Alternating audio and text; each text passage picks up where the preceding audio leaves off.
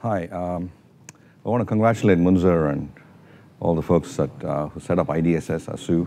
Uh, I think it's a great uh, initiative, and you know, I'm sure it'll make MIT great again. But, uh, but, but, I, but more importantly, I think it will. Um, it's, it's exactly what we need to do now.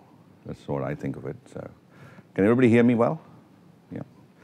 Okay. So. Um, I'm a professor of ECS, uh, ENCS, separate departments at Stanford, and I'm directing this uh, Stanford Center for Societal Networks. Uh, but my research area used to be computer networks, which is all I did for about 15 years. This is internet algorithms, data centers, and cloud computing, uh, until I had a um, transformative experience by being uh, one of the people in this uh, traffic this is not a traffic jam, it's just traffic. Okay, this is, if it appears to be jammed, it's, it's not. Uh, and so this is Bangalore, December 2007. Uh, and fancifully, I think that's me.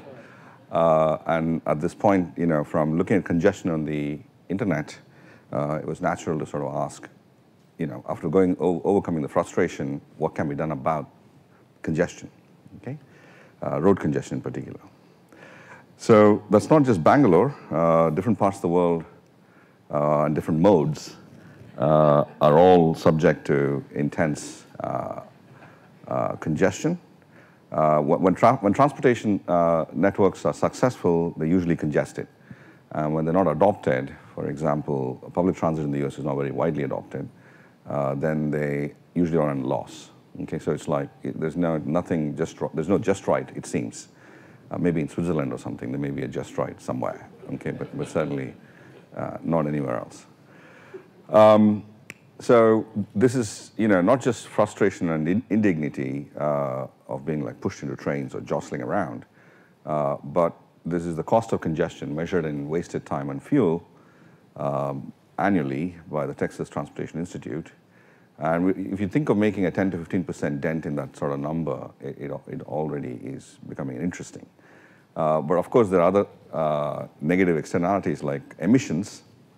And the uh, other big thing that's safety, you know, not just accidents and fatalities, but even just in the normal operations of transit systems, you can have crowds gathering, like in the London Underground, for example, it's an open to the platform, uh, same in Delhi or, or, Beijing. And when people come in, and the, the, the crowds just push all the way in, and there's the only way people can leave there is through a train, or they'll fall on the tracks. So this is sort of just an important thing to just worry about as the system is operating, okay? Uh, obviously, the problem is very easy to state. Demand vastly exceeds supply. Uh, you've got to do something. You've got to bring the left-hand side lower and the right-hand side higher. That's just, you know, mathematically what we need to do. So our work actually tries to do this in two ways. One is, you know, one, we pay people money to make off-peak trips or change their mode of travel uh, rather than uh, penalize them with congestion charges, for example. Uh, this is not intended to replace congestion charging, could work in uh, concert. But um, congestion charging is not exactly easy to deploy at the level of policy. Uh, Bloomberg uh, famously failed to be able to get the vote in 2008 to you know, uh, in Albany, in fact, to get congestion charging instituted in New York City. Okay?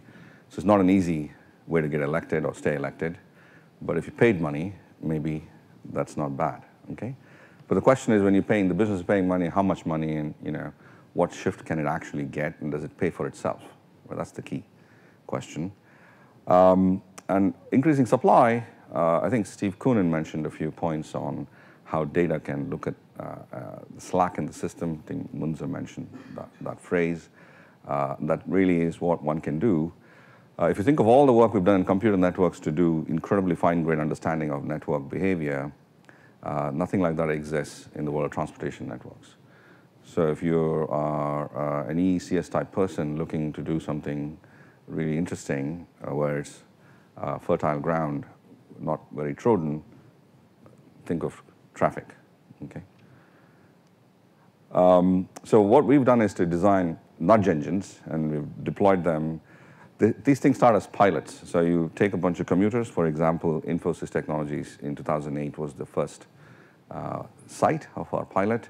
In fact, I was driving to Infosys in 2007 December when this happened, and I complained about it in the way that people do. I said, Does anybody care about traffic? And then they said, Why don't you do something about it? So one thing led to another, and then uh, you know here we are, right? And Singapore Public Transit, it's been going on for five years. I'll highlight uh, what, data has told us there. Uh, Stanford Commuters and the Bay Area Rapid Transit just on, uh, early this month launched uh, the incentive program for their commuters. And also you could use the same sort of ideas to nudge people in areas like wellness. And that was a project with Accenture. So let me tell you how the Singapore MRT system works. Uh, it's, think of it as the frequent flyer mile program equivalent for public transit commuters. Um, when you're doing these nudge engines uh, for cities, you can't afford to be very uh, nuanced and, and sophisticated in the way you send your messages. It has something very easy to understand that people can just latch onto uh, straightforwardly because you're not going to meet your subjects. It's all done through some website or, or an app. So what we did was we said, think of a airline miles program. You're a smart uh, a card, uh, you know, equipped commuter. You tap into a train station uh, in some subway system. You travel. That amounts to some number of kilometers.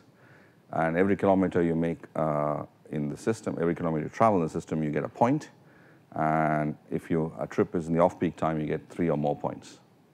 Okay, it's very simple to understand. An off-peak is not five in the morning, it's just before the peak. So peak, the shoulders off of the morning peak hour. So we deployed this, and you can think of an airline miles program like United Airlines or something. So you, you travel, you, you have miles history, you go to your United Airlines portal, and you redeem these miles, okay? So here, uh, the method of redemption is really what's key, uh, how much money is there to give and how do we uh, uh, you know, think of adverse selection, namely all the people already traveling off-peak are the first ones to sign on in these programs, for example, right? And how do you leave enough money to nudge uh, people off of the peak, right? So we paid through a system of lotteries and used a game. In Bangalore, we ran a lottery uh, every week, but that became difficult because some people wanted to opt out of the weekly lotteries and so on. So we just designed a game of chance a game of chance is a self-administered lottery. You take your points and you go roll a die, and then sometimes you win, sometimes you lose. Okay, everybody understands this. And then we also observed that social influence is huge. So if you have your friends on the program, which you're allowed to invite through Facebook and other things, we have Facebook Connects, and uh, we've used those tools. Uh, your behavior is nudging, but also you're getting as recruits. Okay, marketing.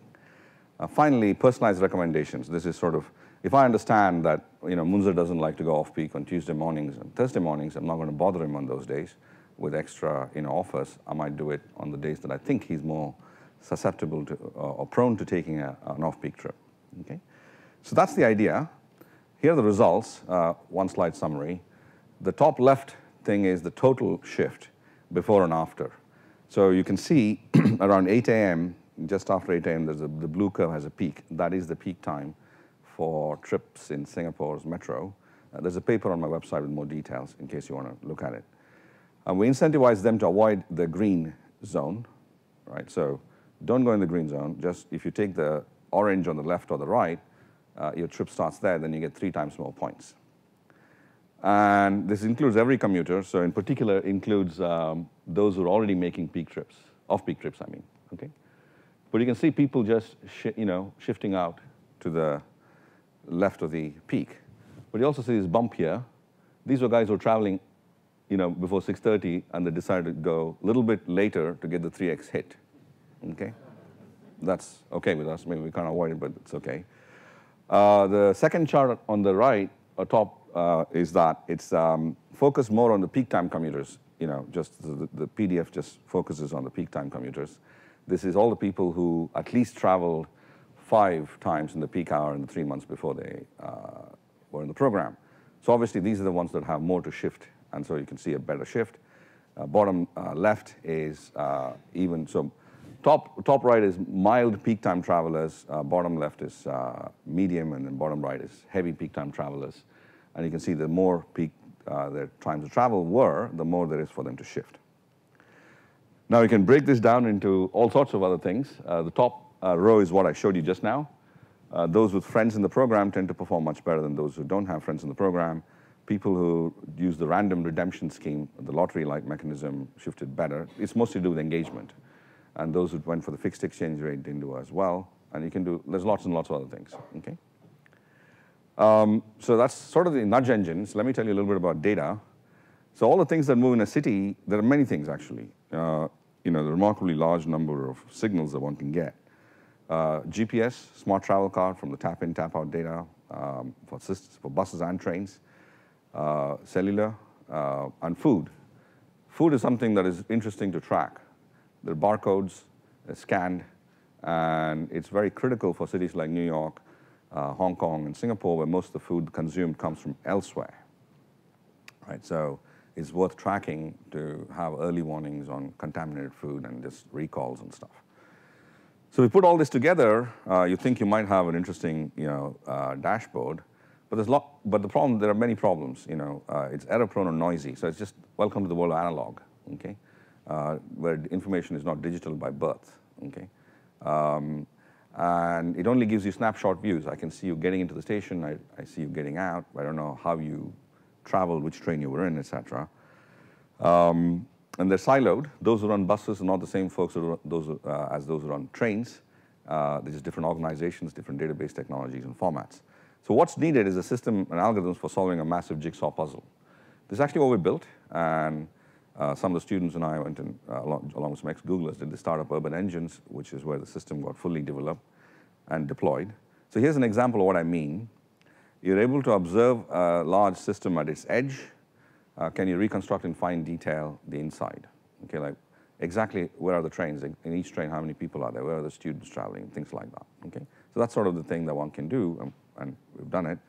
We've also taken the New York City taxi data, pushed it through our big data system, which has a routing engine and stuff, so you can do inferences on what people are doing. So let me tell you some of that stuff.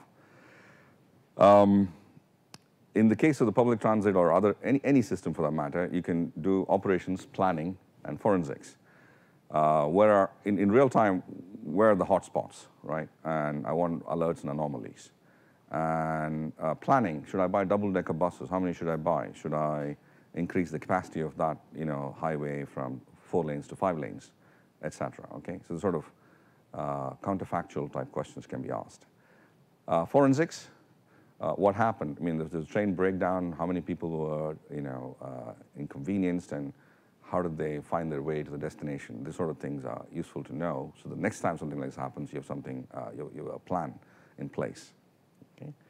So let me tell you two things about New York City cab data, which we found interesting. Uh, there are many things as part of my student uh, Chenguang Zhu's PhD thesis, but this uh, Steve observed that this is periodic pickups from Midtown Manhattan. You can get it down to zip codes, zip code level data, okay? So every column is a day of the week, Monday, Tuesday, Wednesday, etc., and Sunday uh, at the very end. Uh, as you can see, uh, it's highly periodic. It's slightly different on different days, but every day it's pretty periodic, okay? In fact, so periodic that uh, I requested Chenguang to just look at the Fourier transform of this and set it to music, okay? So you can actually hear the sound of Midtown Manhattan and say, that doesn't sound right, okay, for example. Okay, so uh, what, what happened on those days, of course, Memorial Day weekend. Uh, financial district, different signature, but typical of for the financial district. Okay, so it's, it's location dependent. Uh, Brooklyn, okay, so you get the idea. And it's not just for pickups, it's pickups, drop-offs, distance travel, it's not a mystery why this is all happening. It's all of us doing the same thing, like going to work every day and then going to the gym or picking up kids or whatever it is we are doing, right? So there's a very periodic rhythm to our daily lives. Um, so uh, the uses are obvious. You can do better, you know, deployment uh, of the, you know, uh, system uh, for, I mean, the, the taxi system, etc. Okay, so it's obvious. I'll, I'll, just skip over the implications. Here's another fun thing. Uh, we looked at New York City Knicks fans, do they tip more when their team wins and they're going back home, or they, or they under the tip less other times? Okay? Let's see what we found out. Okay? Um, we took four games, two in which Knicks lost, two in which they uh, won. And uh, when the Knicks won, there was about a 5%. So this 19% is the actual uh, tip as a, you know, on average as a function of the fare. Um, the Knicks won, they tipped uh, 5% more, meaning it's 5% because it's 1 on 19, okay? And this is statistically significant. Now you're wondering, like, this is really, you know, not, I'm not persuaded. Many are thinking, I can hear you, okay? So let me address that, okay? Something more interesting that happens here. So it turns out if you've taken a taxi in New York City, you have to choose the tip amount. It's always left at 20% by default. That's why it's that number, okay? So you see a mode uh, at this point, which is 20%. When the Knicks win, fans are going back, so you choose Madison Square Garden, see the destinations uh, for trips starting from Madison Square Garden. That's how this big data system works. You have to choose 25% or 30% deliberately, right? So you can see that this person has chosen to give more tips, right? So that's what these two bumps are, okay? So, but then there's a small bump here, okay? So we think that that's the fans on the opposite side, you know, the, the other guys. They're also rejoicing. So let me leave with that, but you can sort of see how this works. Uh, there's, you know, quite a few interesting things one can say. Thank you.